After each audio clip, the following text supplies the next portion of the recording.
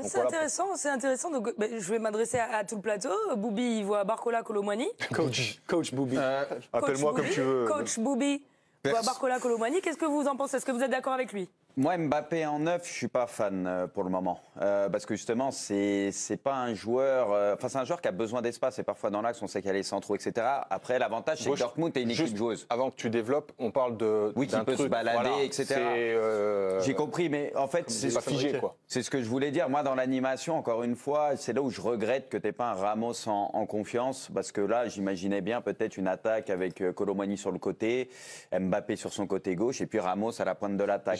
Aussi. Mais malheureusement, Ramos euh, est pas trop en confiance et tu le sens qu'il a pas trop les faveurs du coach aussi. Et ça, ça me déçoit un petit moi, peu c'est parce ce- que je pense qu'il peut vraiment apporter quelque chose et c'est le seul pur neuf. Donc moi, c'est la petite chose peut-être qui me dérange sur ce 11. Barcola, j'aime beaucoup ces derniers temps et on lui était tombé dessus. Enfin, je dis, quand je dis on, pas Bon, nous pas nous, hein, spécialement, mais mais, oui, oui. beaucoup lui étaient tombés de, dessus injustement. Ok, il y avait eu du déchet le dernier geste, mais il avait fait beaucoup de différences contre Newcastle. Et moi, je trouve qu'il montre de belles choses. Et contre Nantes, ça a été un des meilleurs euh, parisiens. Et après, pour parler du 11 de manière générale, le milieu, je suis d'accord. Il y a peut-être en défense, j'aurais une hésitation avec Danilo, que je Oui, trouve mais- plutôt bon ces derniers temps et peut-être plus rassurant que, que d'autres. Perso, je l'aurais mis, mais euh, je me dis que Luis Enrique, de toute façon, le Non. sautera pas. Il va mettre son Euh, capitaine. mais ça, je suis pense- d'accord, je pense ouais. plus que c'est un argument pour faire reculer sa défense qu'autre chose. Marquinhos, pour moi, je le mettrais pas. Mais je, je me dis que, que Luis Enrique va le mettre. Mais le fait d'avoir Mbappé en, en- sur un côté, j'y ai pensé aussi forcément parce que j'aime Ramos aussi en pointe.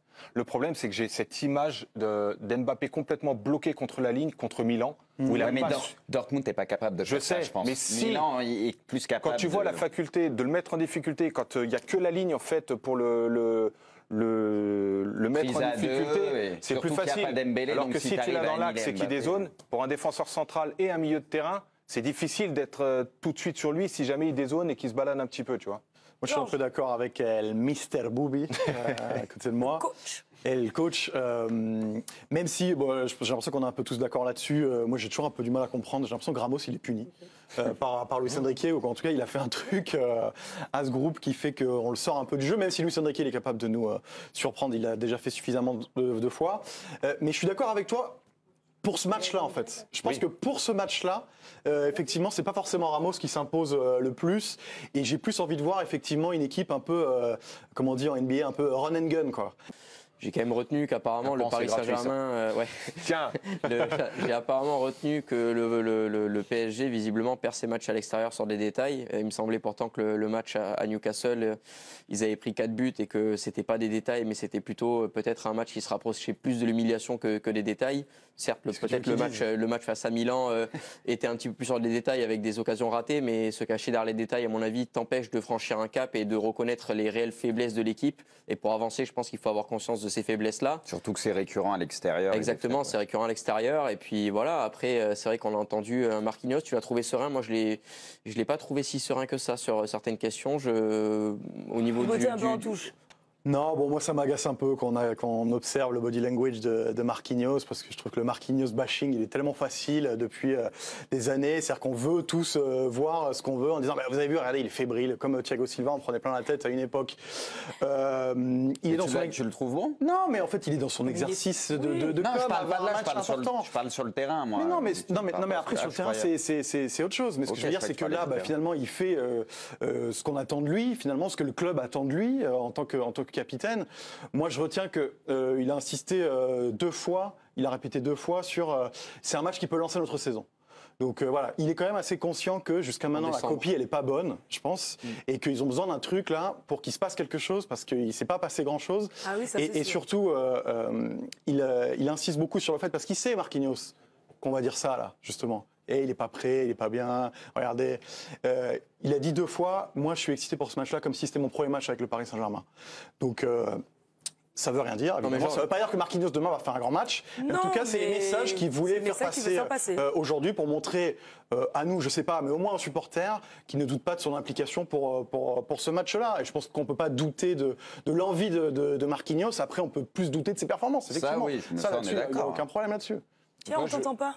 Ben, je le, moi, je l'ai trouvé un peu dans le déni quand même, euh, dans le, enfin, le, fait d'assumer euh, son rôle. Je veux bien que ce soit de la communication et une conférence de presse. Alors c'est vrai qu'il fait l'exercice qu'on lui demande de faire. Euh, C'est pas très difficile étant donné qu'il répond à rien. Honnêtement, je, mais, mais je, je sens pas. En fait, moi, j'ai perdu le Marquinhos que j'ai connu au début. Euh, le, le, le gars avec, euh, pas la grande avec des moi, certitudes trouve. et même rafraîchissant. au-delà au-delà du fait de parler du terrain, euh, je trouve que c'est il y, avait l'opportunité avec certaines questions de pouvoir répondre euh, d'une manière franche en étant sûr de son choix et sûr de ses, de ses, de ses, de ses points de vue.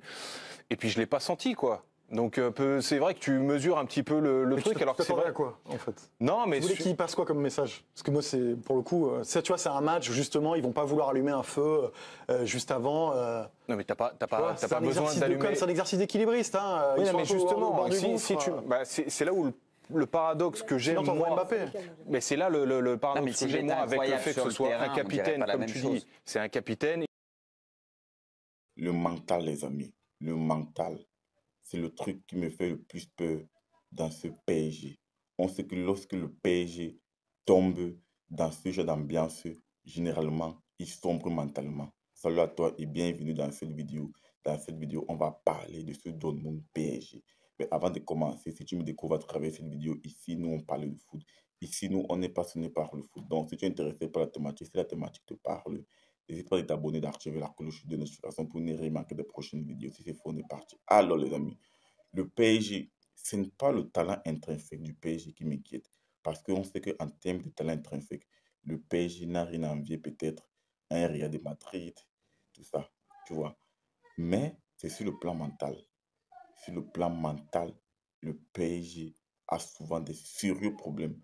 Lorsqu'on sait que le PSG n'est pas à l'aise dans ce genre de configuration parce que c'est une configuration presque huitième de finale retour de Ligue des Champions. C'est-à-dire, tu gagnes, tu passes, tu perds, tu es éliminé. Et dans ce genre de configuration, le PSG n'est pas à l'aise. Le PSG sombre souvent mentalement. On l'a vu, la remontada, tout le monde connaît. Face au Barça, tout le monde connaît. À Manchester United, au match retour, tout le monde connaît. Face au de Madrid, tout le monde connaît. Donc, le PSG n'aime pas ce genre d'ambiance. Lorsque le PSG se retrouve dans ce genre d'ambiance, généralement, ce PSG-là sombre mentalement.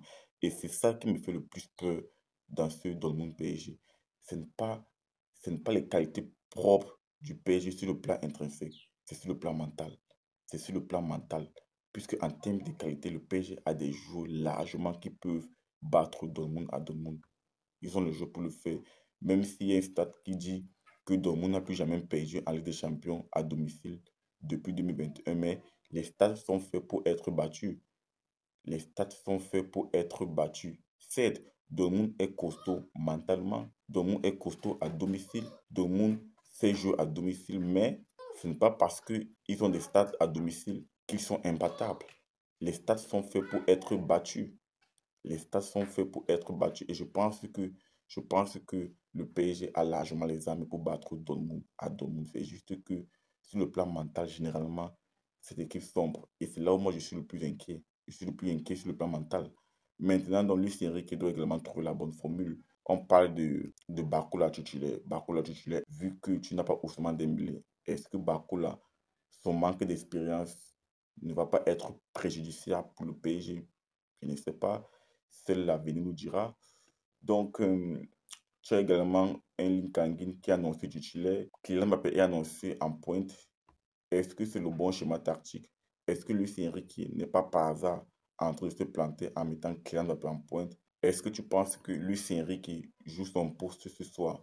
Est-ce que tu penses que s'il est éliminé, il sera limogé?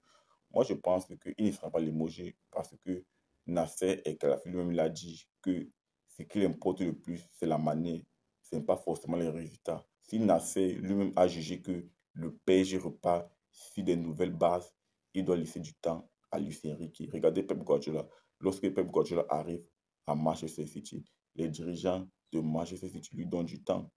On lui donne du temps. La première saison de Manchester City, c'était catastrophique en championnat comme en Ligue des Champions. Ce match-là s'est fait sortir en huitième de finale. En huitième de finale face à Monaco. Souvenez-vous, face à Monaco.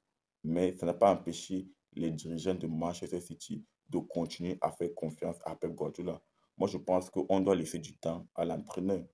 On doit laisser du temps à l'entraîneur. Oui, si le PSG éliminé au premier tour, c'est une catastrophe, mais moi, je pense qu'on doit laisser une deuxième chance à Lucien Riquet, même si le PSG est éliminé. On doit laisser une deuxième chance parce que le PSG a besoin de stabilité. Le PSG a besoin de stabilité. Le dernier coach qui a fait plus de trois ans au PSG, c'est Laurent Blanc. C'est Laurent Blanc. Donc, moi, je pense que c'est vraiment peu. C'est vraiment peu. Il faut laisser du temps au coach pour mettre ses idées en place.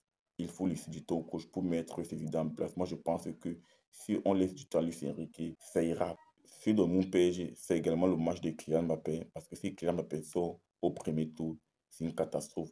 Il peut quasiment dire adieu au ballon d'or. Parce que même s'il remporte l'euro, est-ce que les gens vont vraiment retenir rien que l'euro Les gens vont retenir que oui, il est éliminé au premier tour de Ligue des Champions et ça va faire tâche. Ça va faire tâche. Donc, ce match, c'est aussi à Kylian de qualifier son équipe pour les huitièmes de finale. Partage-moi ton ressenti en commentaire sur la thématique. Et si ce n'est pas encore fait, n'hésite pas à t'abonner, d'activer la cloche de notification pour ne rien manquer des prochaines vidéos. Sont se dit à très bientôt pour notre vidéo, les amis. Ciao, ciao.